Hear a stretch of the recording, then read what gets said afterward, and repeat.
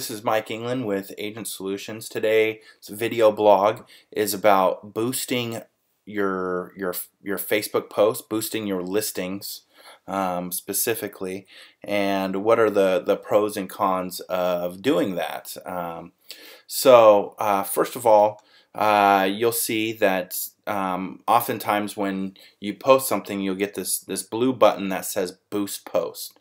Now, some of the advantages of boosting a post is that it's really easy to do, um, and that uh, you can you can pay very little in advertising, uh, and and you can reach the the people that that currently like your page and their their networks of people. Um, some of the disadvantages of boosting your post is you don't get to um, utilize some of the incredible targeting tools that Facebook has to offer. So I'm just going to kind of show you what a boost post will let you do. This page right here, we have 1,077 likes. And so if I hit boost post,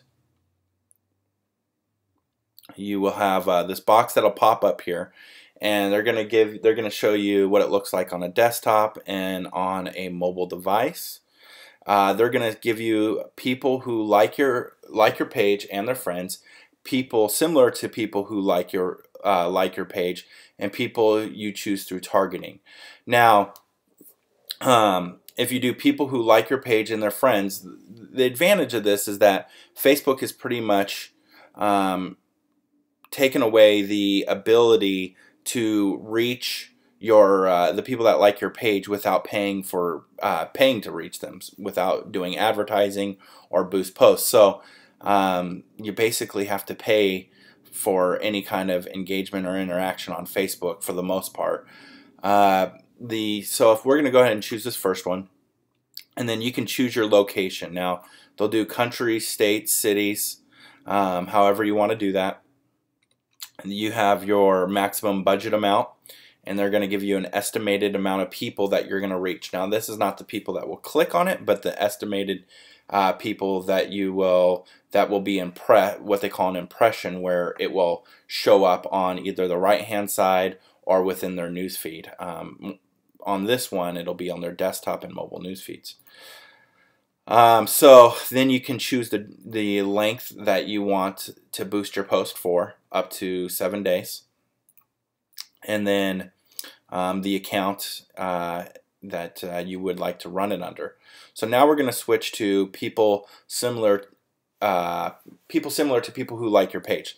So this could be, and our, our page is built up of, I would say probably 90% of the people connected to our page, 1,077 people, are, are uh, real estate agents. So this would be connecting to people potentially that are in the real estate industry. Um, but we really don't, with a boost post, you don't really know these things for certain. So um, there's a lot of guessing that you do with boosting your posts. Uh, and it's not not really uh, as solid as actually just running ads through the Facebook Ads Manager. Um, so uh, again, you you do the same kind of thing: your location, uh, your budget, your estimated reach. Now you can see that the estimated reach is 110,000 potential people. Now that is not very targeted. That is a or 110 million people. Sorry, that that is that is too large of a number in my opinion. That's where where you kind of take away from the benefit of using Facebook ads. So I'm not a I'm really just not a big fan of boosting posts. Um, even though it is easy, you're really just not targeting people, which pretty much eliminates the reason why you would use Facebook ads. Um, people you choose through targeting. This one's a little bit better.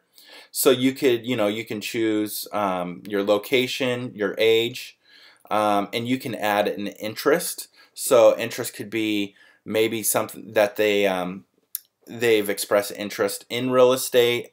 Uh, maybe they've expressed interest in um, and home in in the terms just writing about their home. So you know, so I could write real estate here, and that will uh, knock down my my estimated reach considerably to 13 million.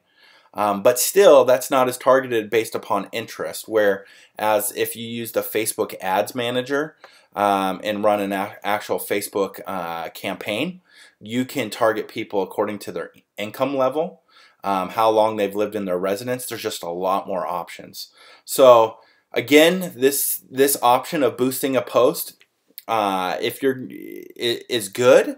Um, but but if you're like me, uh, you're gonna want to get the most that you can out of using Facebook ads, and that's by um, getting a larger uh, targeted demo or, or, a stronger targeted demographic group, and really being able to narrow that down. And that's not really something that is offered as well with boosting your posts. So I hope that makes sense. Um, if you have any questions, feel free to contact uh, Agent Solutions.